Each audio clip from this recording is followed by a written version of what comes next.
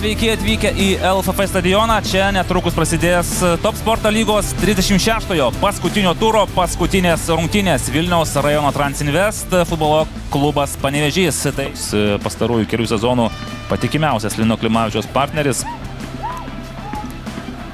E, šiandien atsarguva.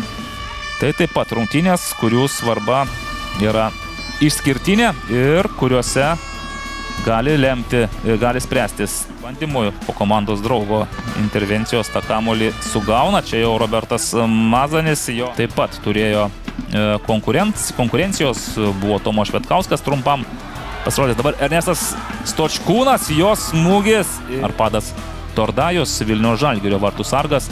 15 sausų rungtynių, dabar Vytas Šerniauskas dar kartelį ir tik po na, tokios apmaudžios raudonos kortelės su telšiu džiugu. Oho, kasgi čia buvo? Na toliau Dainava, Šiauliai ir Banga vis dar dalinasi ketvirta, šešta vietomis. Ohorė, jos smūgis ir Vytautas Šerniauskas. Būtent ten, kur ir stovėjo Vytautas Šerniauskas.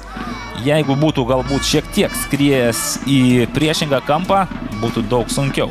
Panevežio vartininkui sureaguoti šį smūgį. Lašas Vranieninas patikimai žaidžia gynyboje. Romantas Vaičiakauskas.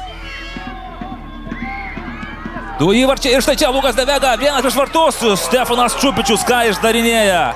Reikia Devensas, Artiomas Račenka. Geras perdavimas, Ignas Kaškilevičius, jo perdavimas link Enrikės Devenso ir šiek tiek per stiprus, šiek tiek netikslus perdavimas, o čia Vytautas Šerniauskas ranišuoti devintoje pozicijoje ir lauks Marijampoliečių dar du mačai su Jonavos Marijampolė Sudula. Tokiu atveju smuktų į dešimtą vietą. Panevežys būtų devintas, o Transinvest e, švestų išlikimą top korto lygoje, bet ne, su tokiais perdavimais. Tas svaiginantis pakelimas iš antros lygos per du sezonus į aukščiausią lygą baigėsi. Laukia Transinvest e, ekipos, klubo ir visos organizacijos sugrįžimas į žemesnį divizioną, į pirmąją lygą.